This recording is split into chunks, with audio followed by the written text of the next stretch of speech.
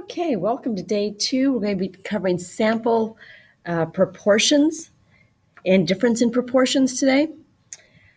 So let's talk about Reese's Pieces. Everyone's maybe not favorite candy, but everyone knows what they are. So our big question is, if we take a sample of Reese's Pieces, what proportion of the candies will be orange? So let's say we have a large bag, like this kind of sell, you know, for a party with a thousand pieces. The manufacturer says that exactly 40% of the candies are orange. If we take a sample of 50 pieces, how many will be orange? Well, first question is what is what type of probability distribution are we dealing with? Well, this is going to be a binomial distribution. And remember, we have to meet bins to be binomial. So is it binary? There's success or failure. Yes, it's either orange or it's not orange. It has to be independent. But if we don't do replacement, we can get around this independent uh, criteria if our sample size is less than 10% of the population. And certainly 50 is less than 10% of 1,000. So we've met the 10% rule. So we're okay on independence. N is that we have to have a set number of trials, which is 50. And S is we have to have the same probability every trial, which is 0.4. So that's all good. So we take a sample of 50 Reese's pieces and we're going to use this applet. So if you are doing this on your own, the applet can be found at tinyurl.com. Sorry, it's messy there. Slash LHNBQK4. And what we're going to do is put in the, the information. What is the probability? What is our sample size? And tell it to pick a sample.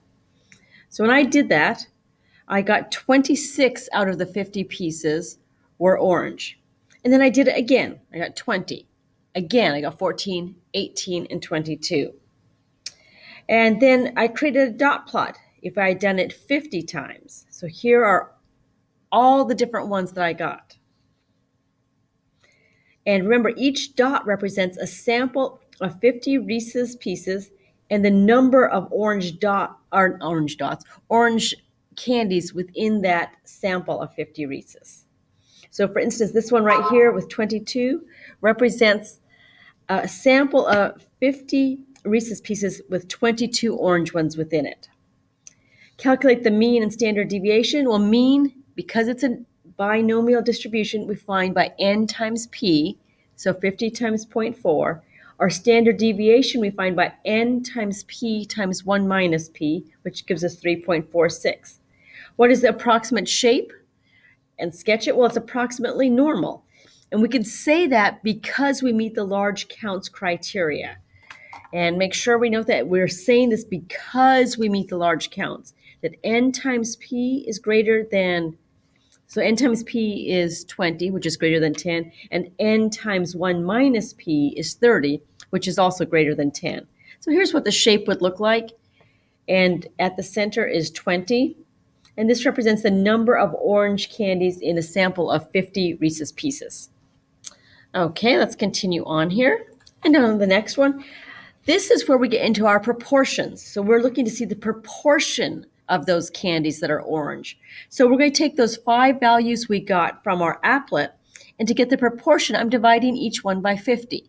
So here are the values I get. And if you do this yourself, feel free to use your own values.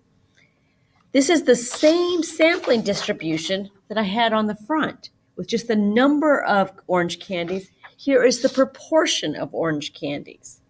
And notice the title. It's a sampling distribution of p hat. So I'm looking at the proportion of orange candies. Each dot here represents one sample of 50 Reese's Pieces and the proportion of orange candies in it. Not the number, but the proportion.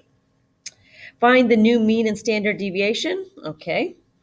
Well, to find our mean, we're going to take n times p, but we need to divide by n because we want a proportion. So notice the n's cancel out, leaving just a p.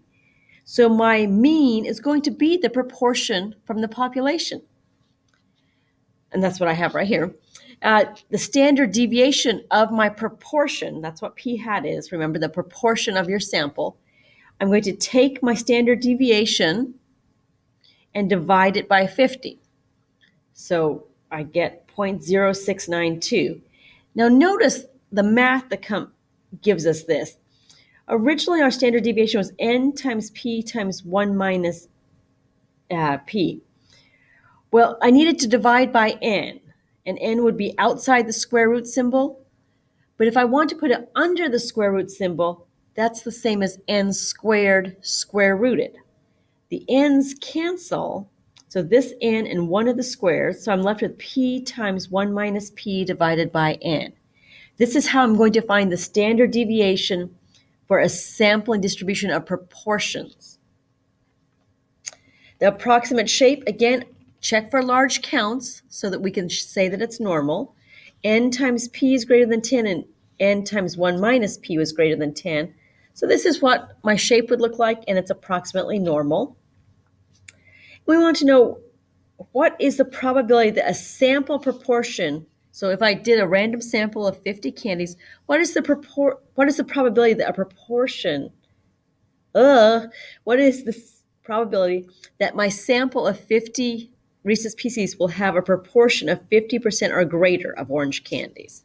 So again, I'm looking at my normal distribution. 0.4 is the mean that I'm using, 0.0692. Here's what it looks like.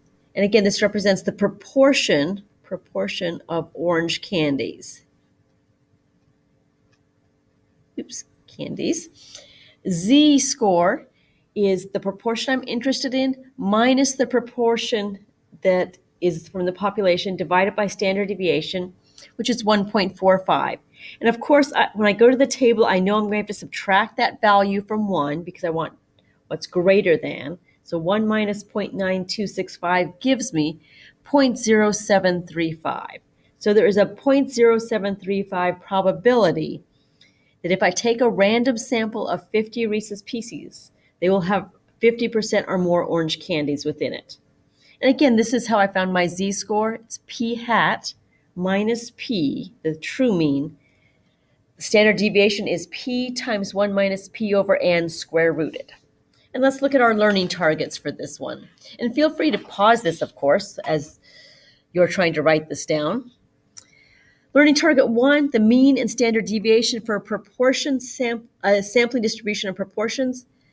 The mean of a sampling distribution is the same as the proportion from your population. The standard deviation of our sampling distribution is found by p times 1 minus p divided by n, all of that square rooted, as long as our 10% condition is met. So remember, we have to meet that 10%, that our sample size is less than 10% of the population for us to be able to use these. Learning target two, we can say that it's approximately normal if the large counts condition is met. So if n times p and n times 1 minus p are both greater than or equal to 10, then we can say that our distribution is approximately normal. And if we can say it's approximately normal, then our z-score is calculated by p hat minus p divided by the square root of p times 1 minus p divided by n, and all of that was under the square root symbol. So let's do the check for understanding. Again, pause the video while you go through and do this yourselves or as much as you can, and then come back to see where you needed clarification. I hit pause. Okay, here we go. Okay, so we're talking about 8% of adults have never had a cavity. If we do a simple random sample of 1,000, we want to calculate p hat. 8% represents p because that's from all adults.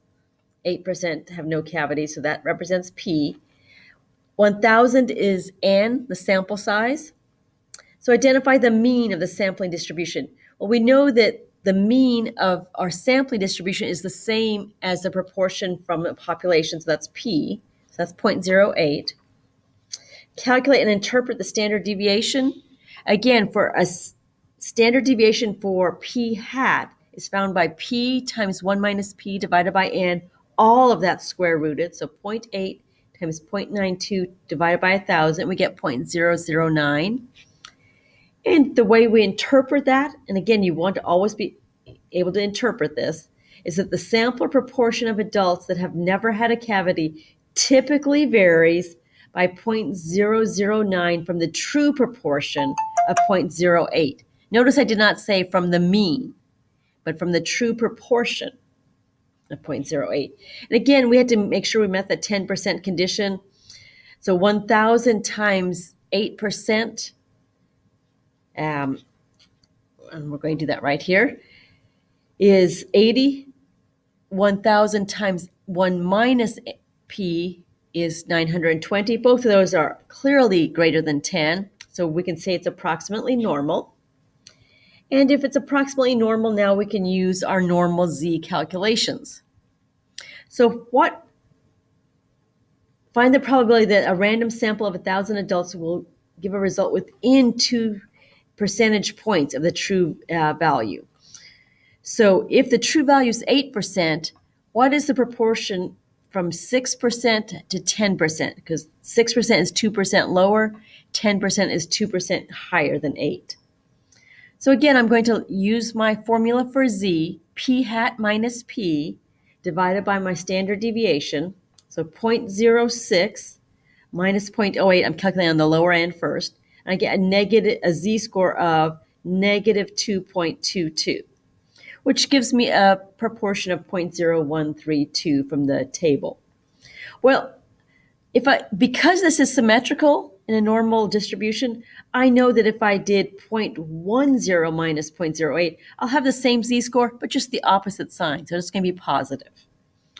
So the pr probability for a z-score of 2.22 is 9, 0.9868. Subtract these and we get 0.9736 is the probability that a random sample will fall within 2 percentage 2% of 8%. And we could do this on the calculator, and I'm just starting to introduce this very slowly to you, but on a test, you can do normal CDF. You have to enter four pieces of information. Your lower bound, so the lower limit is 0.06, the upper bound is 0.10, the p value is 0.08 and the standard deviation is 0.009. If you were to write this on your test, you have to list what each value represents. So again, we're going to try and get you to always write this out. And finally, if the sample size were 9,000 instead of 1,000, how would that affect it? Well, so the standard deviation would still be 0.08 times 0.92, but divided by 9,000 instead of 1,000 and the value we got was 0.003. Well, the only difference is I've multiplied the denominator by 9. So if I were to take the square root of that, of 1 over 9, I get 1 third. So my new standard deviation decreases to 1 third of the value of the original standard deviation. The mean would stay the same. Okay, and let's stop there. Feel free to see me if you have questions or check your textbook. And we'll go on to the next video.